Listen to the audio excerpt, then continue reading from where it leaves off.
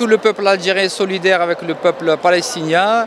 Où les Algériens, depuis longtemps, ont toujours été contre l'occupation des, euh, des, territoires palestiniens. Et on voit à travers cette marche, aujourd'hui à côté de l'hôpital Mustapha, et tous mes collègues et toute l'administration de l'hôpital est totalement solidaire. Tous nos collègues sont de l'autre côté, ils sont déjà descendus.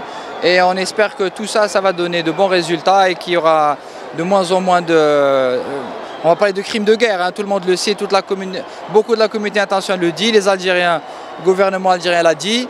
Au niveau des hôpitaux, vous imaginez si un hôpital est bombardé, qu'est-ce que ça peut donner comme euh, conséquence et tout.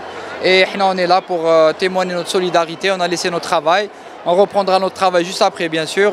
On espère, Inch'Allah, que ça va totalement s'arrêter. Imaginez un, peuple qui est écrasé. C'est un peuple de euh, 2 millions et quelques sur, euh, Reza qui est écrasé.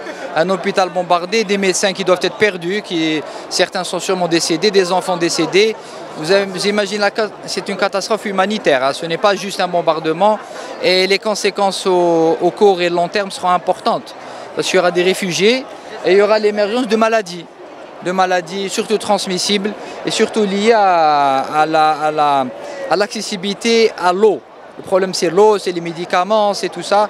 Et je pense que l'Algérie sera toujours là pour euh, aider le peuple palestinien jusqu'à ce qu'il n'y ait plus d'occupation. De, voilà.